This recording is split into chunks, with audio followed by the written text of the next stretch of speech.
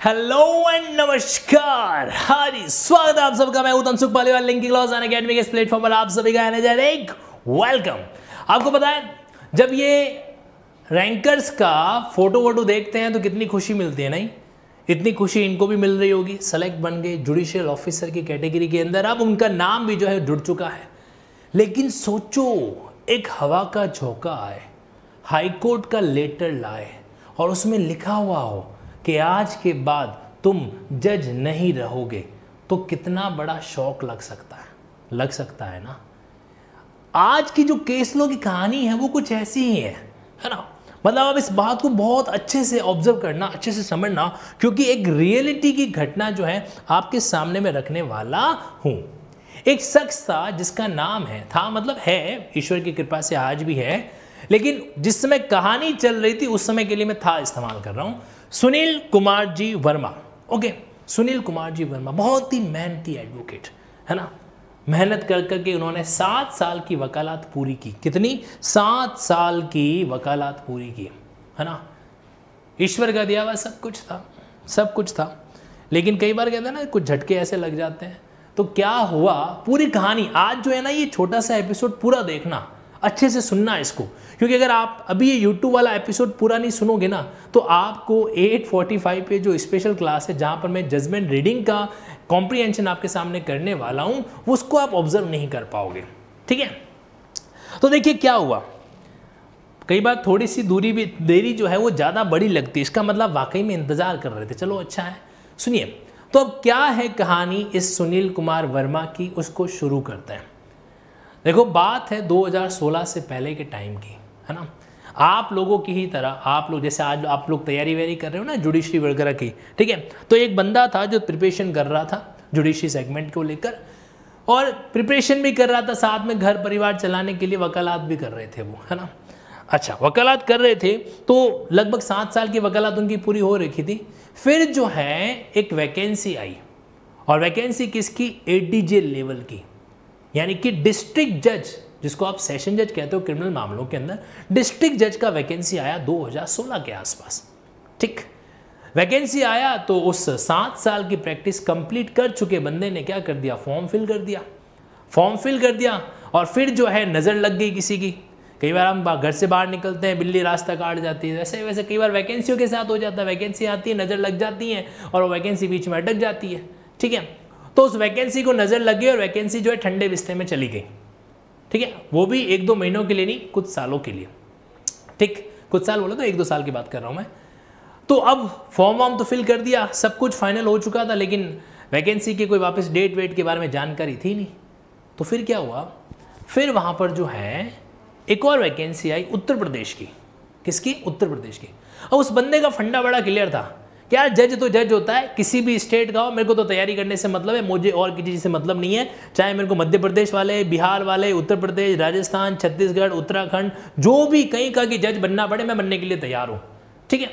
तो अब क्या हुआ कि वो बंदा जो है, पहले उसने पटना हाईकोर्ट यानी कि बिहार का एडीजे का फॉर्म भरा। ठीक है? फॉर्म भरने के बाद उसने यूपी पीसीएस जे उत्तर प्रदेश का जो आपकी जुडिशियल वैकेंसी होता है, उसका भी उसने फॉर्म भर दिया।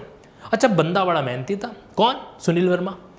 सुनील वर्मा जी बड़े मेहनती थे और उन्होंने यूपी पीसीएस जे की वैकेंसी के अंदर अपनी सीट रिज़र्व कर ली, यानी कि जज बन गए। ठीक है? यानी कि अब वो क्या बन चुके हैं? उत्तर प्रदेश के अंदर एक सिविल जज जुडिशियल मजिस्ट्रेट के रूप में उन्होंने अपना मुकाम हासिल कर दिया। यहाँ तक सब ठीक था, यहाँ तक सब एकदम बढ़िया, राज़ी, खुशी, मस्त वाला चल रहा था सीन और फिर जो है, आता है एक चंद्र ग्रहण क्या होता है चंद्र ग्रहण का? उसको जानने से पहले मैं आपको कुछ बातें बताता हूँ। ऑब्ज़र्व कीजिएगा। देखो, ये है इस केस का नाम जिसकी कहानी मैं आज आपको बताने जा रहा हूँ। Sunil Kumar Verma, Sunil Kumar Verma versus state of Bihar ठीक है? State of Bihar and others भी है। मेन हम बिहार को कंसिडर करते हैं। और इनके जो वकील साहब रहे, जो काउंसिल रहे respected learned council mister Chandrabhushan Prasad Sunil Kumar Verma के। हाँ बिल्कुल आप सही देख रहे हो।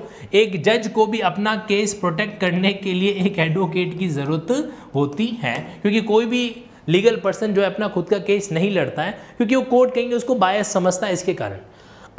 और दूसरी तरफ़ स्टेट को रिप्रेजेंट कर रहे थे लर्नेड एडवोकेट गौरव अग्रवाल जी। ठीक है, ये मैटर चला। अब आते हैं अपन स्टोरी पे। तो कहने का मतलब अब आपके सामने दो क्राइटेरिया हैं। अब आपके सामने दो क्राइटेरिया हैं और इस जजमेंट को जिसकी कहानी आज आप सुन रहे हो ना, उनको देने वाले honourable justice B R Gavai साहब ऑनरेबल रवि कुमार जी, इन दोनों का जजमेंट आज हमारे सामने जो आएगा। और जिसकी प्रतिलिपि आप कह दीजिए मेरे हाथ में है, और इसके जो रीडिंग कॉम्प्रीहेंशन है, वो ओपन करेंगे 845 पे ठीक है? तो अब क्या हुआ? सीधा यहाँ पे आ जाओ। कहाँ पे? यस दिस वन तो एक तरफ़ यूपी पे से यूपी जुडिशियल सर्विस बंदा क्लियर कर चुका है, और इस तरीके से क्या हो गया? उसने सिलेक्शन करा दिया, यानी कि सेलेक्टेड ये वहाँ पर है जो टैग लग गया। अच्छा इसी दरमियान जो है, ये जो वैकेंसी जो ठंडे बिस्ते में चली गई थी, वापस रिज्यूम हो गई। है ना? ये वापस जो है एक्टिवेट हो गई। ओके मतलब इसका प्रोसीडिंग जो है, जो भी रुका हुआ था, वो स्टार्ट हो गया। किसका? एडीजे लेवल का। देखो, ये है लोअर जुडिशरी किसकी है? ये है लोअर जुडिशरी यूपी वाली वैकेंसी और ये जो वैकेंसी थी, वो है हायर जुडिशरी कई बार ऐसा होता है जी अगर किसी कैंडिडेट ने काफ़ी टाइम से एफर्ट एफर्ट कर रहा है और एज वेज उसका फुलफिल हो रहा है या उसका प्रैक्टिस फुलफिल हो रहा है तो वो एडीजे लेवल को ट्राई करने की कोशिश करता है। और इसमें कुछ ऐतराज वाली बात जी है, नहीं है। ओके अब सुनिएगा, समझिएगा।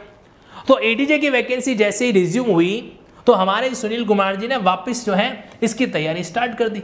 अच्छा एक बात और है, इसकी तैयारी करने के लिए इनकी डिग्निटी देखो। इन्होंने प्रॉपर वे में उत्तर प्रदेश इलाहाबाद हाईकोर्ट से परमिशन ली। ठीक है? प्रॉपर तरीके से परमिशन ले ली इस एग्ज़ाम में अपियर होने के लिए। बंदा सिविल जज बन के बैठा है है ना? प्रॉपर वे में इलाहाबाद हाईकोर्ट से परमिशन ली कि भाई मुझे जो है बिहार एडीजे एग्ज़ाम के अंदर बैठना है। ठीक है? और परमिशन मिल गई, कोई दिक्कत वाली बात थी नहीं इसके अंदर। ठीक? तो ये पर्सन जो है बिहार एडीजे की वैकेंसी के अंदर अपियर हुआ। और चूँकि मेहनती तो थे ही हमारे सुनील कुमार जी तो उन्होंने रैंक लेके आए बकायदा। Rank number five zero serial number fifty पे उनका नाम था। है ना? मेरिटोरियस बेसिस पर उनका जो है, एक तरीके से सिलेक्शन हुआ रैंक फिफ्टी के अंदर। ओके तो अब क्या हुआ? अब आगे की बात सुनो। जब इनका सिलेक्शन हुआ तो घर वालों ने और अच्छी मिठाई बंटवाई कि भाई अब हमारा बेटा जो है, वो एडीजे बन गया है। ठीक। पहले सिविल यहाँ पे सिलेक्शन हुआ, फिर यहाँ पे गया। अब कुछ लोगों कहना है कि, सर इनका सिलेक्शन यहाँ पे हो ही जाना तो यहाँ पे एक सीट बचा के रख लेते। सर, मैंने भी 2017 का एग्ज़ाम दिया था। अगर ये एक आधी सीट बच जाती तो हो सकता है नेक्स्ट सिलेक्शन मेरा हो सकता था। नहीं, देखो, ऐसी भावना नहीं रखनी, ठीक है? तो यहाँ पर इन्होंने अपना सिलेक्शन लिया एडीजे भी सेलेक्ट हो गए अब जो है, आसमान में काले बादल आने शुरू हुए। किसी शुभ चिंतक ने, हो सकता है हाई कोर्ट, वाई कोर्ट के अंदर कंप्लेन की हो, या फिर हो सकता है कि जो पटना हाई कोर्ट है, इसने शिव मोटो सब प्रेरणा से ही क्या कर दिया, वहाँ पर जो है एक मामला, एक नोटिस इनको सर्व किया। मैं आपको नोटिस की थोड़ी बात बता देता हूँ। ठीक है, एक नोटिस इन्होंने सर्व किया कि भाई क्यों ना आपको आपकी जॉब से टर्मिनेट कर दिया जाए। शो कॉज नोटिस सर्व किया। ठीक है शो कॉज नोटिस सर्व करने के बाद में इन्होंने अपना रिप्लाई सबमिट किया। किन्होंने? सुनील कुमार जी ने। और रिप्लाई सुनने के बाद रिप्लाई सुनने के बाद पटना हाईकोर्ट ने क्या किया पता है पटना हाईकोर्ट ने उनको उनके पद से टर्मिनेट कर दिया। उनका रिप्लाई सुन लिया और उसके बाद में क्या कर दिया? उनको टर्मिनेट है, जो कर दिया। क्या इस लैंग्वेज को अभी अपन नहीं पढ़ते हैं। इस लैंग्वेज को प्रॉपर तरीके से मैं आपको स्पेशल क्लास में डील कराऊँगा, क्योंकि तब उस समय आपके सामने पीडीएफ एग्जैक्टली होगी ओके और अन अकेडमी ऐप में वो पीडीएफ है तो आपको आसानी रहेगी उस चीज़ को समझने में अप्लाई करने में ऑब्ज़र्व करने में, और उसका आप पीडीएफ आसानी से डाउनलोड भी कर पाओगे। तो कहा थे हम? हाँ तो एडीजे कि उन्हें सिलेक्शन हुआ, उसके बाद में हाई कोर्ट ने इनको शो कोर्ट नोटिस भेजा। शो कोर्ट नोटिस का जवाब आने के बाद में उनको उनके पोस्ट से टर्मिनेट कर दिया गया। अब इस बात से आहत होकर सुनील कुमार जी ने एक रिट पिटिशन फ़ाइल की। ठीक है? क्या किया? एक रिट पिटिशन है जो फ़ाइल किया पटना हाई कोर्ट के अंदर क्योंकि सीधी सी बात है डायरेक्टली सुप्रीम कोर्ट जाता तो सुप्रीम कोर्ट ये कहता कि भाई पहले तुम जो है हाई कोर्ट होके आओ। तो वो पहले उन्होंने हाई कोर्ट के सामने रिट पिटिशन फ़ाइल की और ऑब्वियस सी बात है हाई कोर्ट ने क्या कर दिया? उसको डिसमिस कर दिया। पटना हाई कोर्ट ने डिसमिस कर दिया, क्योंकि उनकी सर्विस को टर्मिनेट करने के लिए एडमिनिस्ट्रेटिव अथॉरिटी भी कौन थे? पटना हाईकोर्ट ही थे। ठीक है? तो उन्होंने उसको, उनकी पिटिशन डिसमिस कर दी। अब इस बात को चैलेंज करने के लिए पर्सन पहुँच गया सुप्रीम कोर्ट देखो आप समझना, कई बार कहते हैं ना कि न्याय देने वाले के लिए भी न्याय लेना बड़ा टेढ़ा खीर हो जाता है। सुनना अच्छे से इस डायलॉग को। न्याय देने वाले के लिए भी न्याय लेना एक टेढ़ा खीर हो जाता है, और वैसा का वैसा सुनील जी के साथ में हुआ। सुप्रीम कोर्ट पहुँचे, वहाँ पे मामला वामला चला, है ना? पटना हाई कोर्ट से सुप्रीम कोर्ट ने जवाब तलब किया कि भाई किस बेसिस पर क्या क्या हुआ है। वहाँ से उनसे सारे फिगर भी प्राप्त किए। अच्छा पता है, अगर आप विजिलेंट हो, मैं कहूँगा नहीं, आपको एक चीज़ दिखाता हूँ। अगर आप जो है ना विजिलेंट विजिलेंट का मतलब क्या होता है? आप हर चीज़ की जागरूकता रखते हो तो ऐसे केस में कहीं कहीं जो है, कोर्ट आपको फेवर भी करता है। मैं आपको दो लाइनें बताता हूँ। दो लाइनें जो शायद यहाँ पर आपके सामने अभी अपेयर हो जाए तो आपको देखने मिल जाएगी। और नहीं तो इनके आर्ग्यूमेंट को स्पेसिफिकली मैं आपके सामने रख लेता हूँ। वहाँ पे कहाँ पे स्पेशल क्लास है? मैं सुना देता हूँ आपको लाइन क्या थी वो। एक्चुअल में इस बंदे ने एग्ज़ाम में बिहार एडीजे के एग्ज़ाम में अपेयर होने से पहले परमिशन ली। और जब उसका सिलेक्शन हो गया तो रिजाइन करने के लिए भी उन्होंने परमिशन ली। ठीक है? दो बार उसने परमिशन ली और अपने इस तरीके से विजिलेंट विजिलेंटीनेस को दिखाया। अपने कहते हैं ना जागरूकता को, सतर्कता को दिखाया वगैरह। ठीक है? और उसके बाद उन्होंने ज्वाइन किया था। तो सुप्रीम कोर्ट ने इसको बड़ा पॉजिटिव पॉइंट लिया। सुप्रीम कोर्ट ने कहा कि यार, ये बंदा अगर गलत होता तो क्या इस तरीके से सेकेंड टाइम ही वापस परमिशन के लिए अप्लाई करता क्या? पहले परमिशन तो ले रखी थी, कायदे से सीधा ज्वाइन रिजाइन करके भी जा सकते थे, लेकिन उन्होंने प्रॉपर तरीके से परमिशन दोनों टाइम लिया। मतलब somewhere he is innocent somewhere कहीं की जो है, वो तो निर्दोष है। और फिर बात आता, अब देखो, अब कहानी का रोचक मोड़ जो आता है। अब अगर आप लॉ के स्टूडेंट हो तो अगले पाँच मिनट को बहुत ध्यान से सुनना। और वो पाँच मिनट क्या है, इसको जानने के लिए आपको एंड तक क्या कहता है कनेक्टेड रहना पड़ेगा। अब मैं बात करने वाला हूँ आर्ग्यूमेंट की। सुप्रीम कोर्ट में मामला है एक तरफ़ पटना हाई कोर्ट का एडमिनिस्ट्रेशन, एक तरफ़ दूसरी तरफ़ सुनील कुमार जी, जो कि जज, डीजे की पोस्ट से टर्मिनेट हो चुके हैं और सिविल जज वाला पोस्ट वो रिजाइन कर चुके हैं। यानी कि हाथ में कुछ नहीं है, ना इधर, ना उधर। एकदम बे मतलब अनएम्प्लॉयड की तरह वहाँ पे खड़े हैं। सामने पटना हाईकोर्ट का एडमिनिस्ट्रेशन और कौन सा प्रिमाइसिस है? सुप्रीम कोर्ट का प्रिमाइसिस है। अब क्या हुआ, उसको समझते हैं। और उससे पहले मैं आपको कुछ एक जानकारी है जो दे देता हूँ। ध्यान से सुनिएगा यहाँ पर। एक तो आपको यह है कि अपूर्वा मैम आपके ट्रांसफ़र ऑफ़ प्रॉपर्टी के जजमेंट का करने वाली है खल्लास 23 सितंबर को। इस क्लास को मिस मत करना। मेहनत के साथ में अपूर्वा मैम जो है, ट्रांसफ़र प्रॉपर्टी एक्ट के जो जजमेंट है, उनको डील है जो करने वाले हैं। तेईस सेप्टेम्बर को कितने बजे? शाम को छह बजे। ओके? दूसरी बात यह है कि अब जुडिशियल प्रिपरेशन के लिए आप लिंकिंग लो एक चैनल से कनेक्टेड होगे तो भी आपको सारी जानकारी जो है दे दी जाएगी और जल्दी आपके पीछे प्रॉब्लम सॉल्विंग एस्पेक्ट भी शुरू होने वाला है। एम पी जिसका दिसंबर में एग्ज़ाम होने वाला है, ये 15 से हमारी टीम के द्वारा इसका एक रैपिड कोर्स स्टार्ट कर दिया गया ताकि आपकी रेगुलरिटी परफेक्ट वे में क्या रहे, बनी हुई रहे। ठीक है? इसके अलावा साथ साथ में आप टेस्ट सीरीज़ को अगर प्रॉपर तरीके से डील करना चाहते हो तो आपके पास ऑप्शन है एल आई टी ही का। साल भर थ्री फोर नाइन नाइन ये इसका प्राइस कोटेशन है और अगर आप लिंकिंग कोड अप्लाई कर लोगे तो वहाँ पर आपको टेन परसेंट जो भी लेस मिल जाएगा। ये सिर्फ़ टेस्ट सीरीज़ है लेक्चर नहीं है, ध्यान रखना। ये लेक्चर नहीं है। तो सब्जेक्ट में जो भी टेस्ट है, उसका आपको एक्सेस वहाँ पर मिल जाएगा। ठीक है? और साथ साथ में जुडिशरी आइकॉनिक चार चीज़ें। पहली चीज़ कौन कौन सी है? आपको एक स्पेसिफिक मेंटोर मिलेगा, जो आपके साथ लीगल डिस्कशन करेगा, आपको गाइड करेगा। ठीक है? One to one one to many नहीं वन टू वन साथ साथ में आपको डाउट्स के अंदर क्या मिलेगी? प्रायोरिटी मिलेगी। जब क्लास होगा तब। क्लास में आप सबसे पहले डाउट अपना रेज कर पाएँगे। फिर आपको मॉक टेस्ट जितने भी हुए हैं सक्सेसफुल और अटेम्प्टेड कैंडिडेट सभी के मॉक टेस्ट देखने का मौका मिलेगा। और फोर्थ जो आपके पास में स्पेसिफिक एगमेंट रहेगा कि जो आपके मेंस के जो टेस्ट रहेंगे ना तो आपकी copy one to one check होके आपके पास वापस आएगी। तो ये स्पेशल फीचर के साथ में आइकॉनिक सीधी सी बात है आइकॉनिक के अंदर फीचर एक्स्ट्रा है तो उसकी कॉस्टिंग भी थोड़ी ज़्यादा रहेगी। ये फ्री क्लासेस है। अगर कोई किसी कारण से अफोर्ड नहीं कर पा रहा है, भारी कोचिंग फ़ी को किसी भी रीजन से तो उसके पास दो ऑप्शन है। एक तो अपने पास लिंकिंग कॉम वेबसाइट जो है, वहाँ पर मैंने स्टडी मटेरियल में फ्री वीडियो लेक्चर्स के अंदर सारे लिंक सिस्टमेटिक अरेंज करके रखे हैं। वो लिंक यहाँ पर आपके यूट्यूब और स्पेशल क्लास में ही खुलेंगे, लेकिन सिस्टमेटिक तरीके से आपको वहाँ पर मिल जाएँगे तो आप उनको करके अटेंड करके अपनी क्लास प्रॉपर वे में कर सकते हो। और ये प्राइस कोटेशन है, ये आपके प्लस का है और ये आपके आइकॉनिक का है। आइकॉनिक का एक्स्ट्रा है, क्यों एक्स्ट्रा है? क्योंकि इसमें चार बातें एक्स्ट्रा आपको मिलेगी। पढ़ाई दोनों में सेम है, लेकिन एक्स्ट्रा फैसिलिटी यहाँ पर मिलेगी। और अगेन आई एम सेइंग ध्यान रखना, हमारी टीम से कनेक्ट आप हो पाएँगे। अगर आप लिंकिंग वे में ऑब्ज़र्व करेंगे और आपके किसी प्रॉब्लम के अंदर I will be there in front of you आपके सामने जो है, खड़ा रहूँगा ताकि आपको कोई प्रॉब्लम है जो नहीं आए। ओके अब बात करते हैं वापस हमारे इस केस की। अब ध्यान से सुनिएगा। सुप्रीम कोर्ट के ऑनरेबल दो जस्टिस के सामने जो है केस की सुनवाई चल रही है।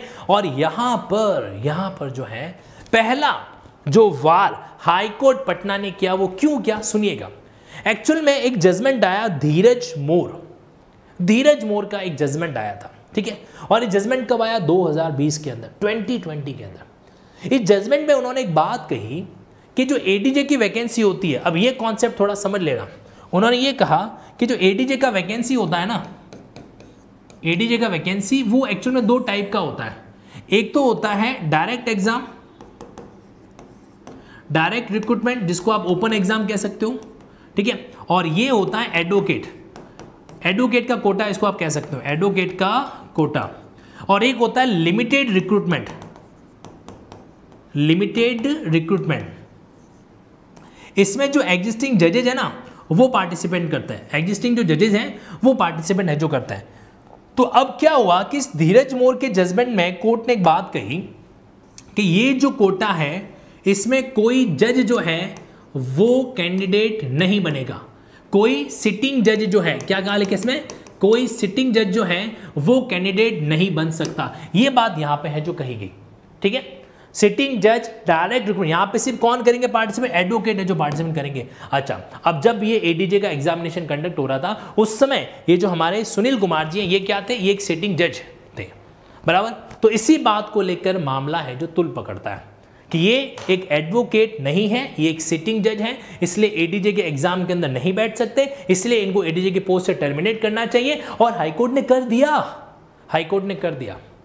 लेकिन क्लाइमेक्स का सीन तब बनता है जब इनके अधिवक्ता, क्या नाम था इनका? देखिए, इनके जो एडवोकेट्स हैं, चंद्रभूषण प्रसाद जी, जब उन्होंने ये आर्ग्यूमेंट किया कि माय लॉर्ड आप जो एलिजिबिलिटी तय करोगे ना एलिजिबिलिटी तय की जाती है डेट ऑफ़ फाइलिंग एप्लीकेशन जब एग्ज़ाम की एप्लीकेशन फ़ाइल होती है, उस समय का, उस समय का एलिजिबिलिटी है जो चेक किया जाएगा। इन्होंने एग्ज़ाम की एप्लीकेशन जो है, वो फ़ाइल की थी 16 सितंबर 2016 से पहले। 16 सितंबर दो, ये एग्ज़ाम के एप्लीकेशन फ़ाइल करने की लास्ट डेट थी। और उस समय तक इनका जो स्टेटस था, वो एक एडवोकेट का था। आपकी वैकेंसी ठंडे बिस्ते में चलेगी, इसका जो ढिंडोरा है, इसकी जो प्रॉब्लम है, वो आप कैंडिडेट के ऊपर नहीं फोड़ सकते। ये बात उन्होंने कही कि at the timing of filing application at the timing of filing application जो है at the time of filing application ये जज नहीं थे, ये एक एडवोकेट थे। और चूँकि at the time of filing application का स्टेटस ही चेक करना चाहिए, इसलिए आपकी ये जो जजमेंट है धीरज मोर का, ये धीरज मोर का जजमेंट मेरे क्लाइंट सुनील के ऊपर लागू जो है नहीं होता है, और इस कारण हाईकोर्ट का जो ऑर्डर है टर्मिनेट करने वाला, वो अपने आप में अनकॉन्स्टिट्यूशनल है, एक तरीके से इलीगल है अनजस्टिफिएबल है। सुप्रीम कोर्ट ने कहा, शाबाश। वकील साहब, शाबाश वेरी गुड और सुप्रीम कोर्ट ने सारी बातों को ऑब्ज़र्व किया। सुप्रीम कोर्ट ने बोला, बात बिल्कुल सही है। बात तो बिल्कुल सही है। और ये फैक्चुअल भी तो है। कहाँ गलत है इसके अंदर? अब जैसे मान लो कोई डाइवोर्सी लेडी है सपोज़ करो। डाइवोर्सी लेडी जिस दिन डेट एग्ज़ाम फॉर्म का फ़ाइल कर रही थी, उस टाइम वो डाइवोर्सी थी। फिर तीन चार महीने बाद उसने शादी वादी कर दी। तो क्या आप उसका कैंडिडेट से रिजेक्ट कर दोगे क्या? नहीं ना। नहीं कर सकते। है ना? तो सिमिलरली इस बंदे का कैंडिडेट कैसे रिजेक्ट हो सकता है? तो सुप्रीम कोर्ट ने कहा डोंट वरी आई एम मैं हूँ यहाँ पे ऑल इज़ वेल और सुप्रीम कोर्ट ने क्या कहा? वो खुद देख लीजिए। सुप्रीम कोर्ट ने फाइनली जो है, कुछ बातें कही और ये रिलीफ सुनकर मतलब उस बंदे का जो दिल है ना, वो एकदम गार्डन गार्डन है जो हो गया। ये बातें सुप्रीम कोर्ट ने वहाँ पर है जो कही। क्या पहली बात, अपील को हम अलाउ करते हैं। पहली बात तो ये, अपील अलाउ कर दी। The letter dated fourth January 2021 जिसके तहत टर्मिनेट किया गया था उनको, उसको क्या किया जाता है? क्वेश एंड सेट असाइड किया जाता है। अब जज साहब की feeling is jumping in the sky है ना? खुश हो गए वो। फिर appellant is directed to be reinstated appellant को वापस डीजे की पोस्ट पे री इंस्टेट करो। दो हफ़्ते के अंदर टू वीक्स के अंदर, दो सप्ताह का समय तुम्हारे पास में दो सप्ताह के अंदर इनको इनकी पोस्ट वापस दीजिए। कहाँ पर? बिहार के अंदर। और इतना ही नहीं, ये भी कहा कि जो अपीलेंट है, उसको अगर वो सर्विस में होता तो जो भी उसको सीनियोरिटी मिलती नंबर वन जो भी उसको टर्मिनल बेनिफिट या एक्सेट्रा जो भी चीज़ें वो सारी चीज़ें उसको मिलेगी। लेकिन हाँ पैसा नहीं मिलेगा। जितने टाइम तक वो बाहर रहे और एज ए जज सेवाएँ नहीं दे पाए तो वो जो मॉनेटरी अमाउंट है, वो नहीं मिलेगा। बाकी जो इनका जो भी सीनियोरिटी कॉन्सिक्वेंशियल है, वो बैक डेट से आप क्या करो, वापस एप्लीकेबल करवाओ। और इसी तरीके से जीत होती है किसकी? एक जज की, एक मेहनत करने वाले कैंडिडेट की। तो सुनील कुमार वर्मा जो हैं, वापस एडीजे की पोस्ट पे री हो जाएँगे या हो चुके होंगे। अभी तक हमारे पास रिसेंट अपडेट नहीं आया बट हो जाएँगे। सडनली हो जाएँगे। और ये वाकिफ, देखो इसीलिए कहते हैं ना, हार नहीं मानना, हार नहीं मानना। अगर किसी कारण से हाई कोर्ट आपकी बात ना सुने तो सुप्रीम कोर्ट के पास जाओ, सुप्रीम कोर्ट ना सुने, नहीं सुनेगा, सुप्रीम कोर्ट सुनेगा। उसके आगे नहीं सुनने की बात नहीं है, क्योंकि न्याय मिलता है साहब, न्याय मिलता है। ये जो दुनिया है ना, ये दुनिया के अंदर कितने भी आंधी आ जाए, कितने तूफ़ान आ जाए, कितने समंदर जो है अपने अंदर बवंडर को उत्पन्न कर दे, लेकिन न्याय की जो सुई है, वो घड़ी में टिक टिक टिक टिक टिक टिक टिक टिक करती रहेगी। कैसी लगी आपको आज की ये कहानी? मुझे कमेंट बॉक्स में ज़रूर बताना। और इस तरह की कहानियाँ क्या और हमें लिंकिंग लॉ के यूट्यूब चैनल पर लाते रहना चाहिएगा वो भी बताइएगा। और आपको ये प्रेजेंटेशन भी कैसा लगा, इसके बारे में भी कमेंट ज़रूर कीजिएगा। और सबसे इंपॉर्टेंट बात, चूँकि आप लॉ के स्टूडेंट हैं तो ध्यान रखना जजमेंट की लैंग्वेज को पढ़ना बहुत ज़रूरी है। और जजमेंट की लैंग्वेज पढ़ेंगे हम कितने बजे? 8:45 पीएम पे। तो ये कहानी मैंने अभी आपको इसलिए सुनाई है ताकि आपके अंदर जो है ना क्यूरिसिटी का कीड़ा जाग उठे। क्योंकि जब तक वो नहीं जागेगा, जब तक एक्साइटमेंट नहीं आएगा ना, तब तक किसी चीज़ को पढ़ने का फील करने का, समझने का मज़ा ही नहीं आता है। Right right? मैं उम्मीद करता हूँ आज आपने बहुत एंजॉय किया होगा। मिलते हैं आपसे 845 स्पेशल क्लास के अंदर। लिंकिंग लॉ तनसुख सर जो अपना टेलीग्राम चैनल है 21,000 से ज़्यादा कई लॉ लिंकर्स उसमें ऑलरेडी जुड़े हुए हैं। आ जाइए वहाँ पर वहाँ पे आपको लिंक शेयर करने वाला हूँ और इसी कमेंट बॉक्स के डिस्क्रिप्शन में आपको लिंक ऑलरेडी शेयर हो रखा होगा। तो बाकी बात है डिस्कस करेंगे कहाँ पर 845 और उसमें और भी कई सारे बातों को हमें क्या करना है अमली जामा पहनाना है। सो सी यू देयर